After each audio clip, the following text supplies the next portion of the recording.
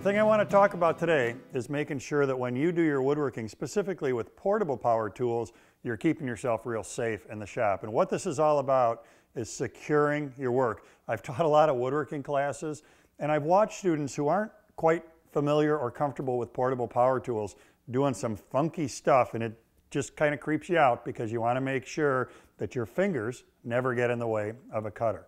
So the first thing that we're going to look at here is routing the edge of a board. We're going to run a profiling bit all the way around, all four edges. And so the easiest way to do that is to have the work secured on a non-skid surface like I've got here. And what we'll be able to do is set our work up on those pods. And what's cool about this is that because those are non-skid, the work isn't going to move when I route on it. Additionally, I don't have any hold downs going this way. So it's going to let me go all the way around the perimeter in one fluid motion. That's going to give me better results rather than clamp it, route, get to the clamp, move the clamp, blah, blah, blah, blah. Second verse, same as the first. So let me show you how this works with our work secured up on those non-skid pads.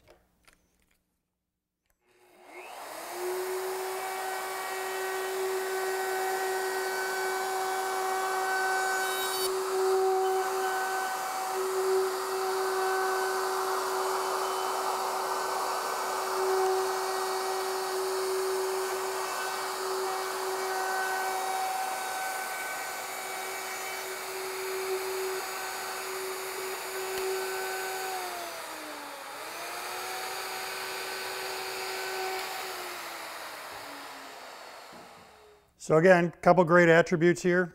The work stays put. It's in a position where I can easily work on it and it's on those non-skid pads that hold it in place.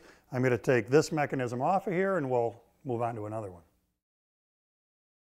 A biscuit joiner is really a great way to assemble components. One of the things I hate seeing is when somebody tries to secure the work with one hand while they're cutting a biscuit slot with the other. Not at all safe. The other thing that we really rely on with the biscuit joiner is if you're registering off the bottom of the machine, we want to make sure that the wood is really securely held down so that registration surface is consistent from part to part to part. So in this case, what we really want to do is get a hold down in place that's going to secure the work. This is going to buy me a couple of different things. One, my work is now nice and solid, so I don't have to have a hand there. Two, I know that the bottom of the wood is right down on the tabletop, making sure that that reference surface is the same from component to component.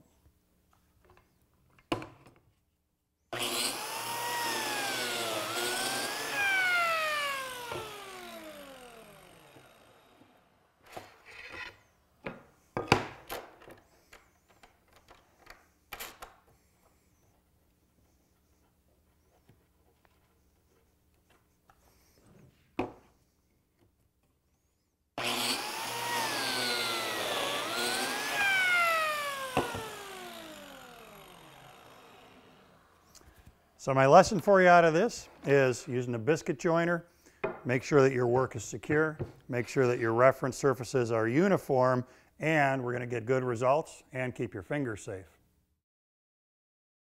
Next thing we're going to have a look at here is routing a dado across this piece of plywood, common operation to do with a handheld router. And in this case, I need a couple things to happen. I want to make sure that I can cantilever my work off the bench because my fence on my router is going to call for that. And I want to make sure that the material doesn't creep at all while I'm routing it. So in this case, we're going to get some lateral pressure on it. And with this piece cantilevered, then I can also ride my fence out here. And here's how that's going to look.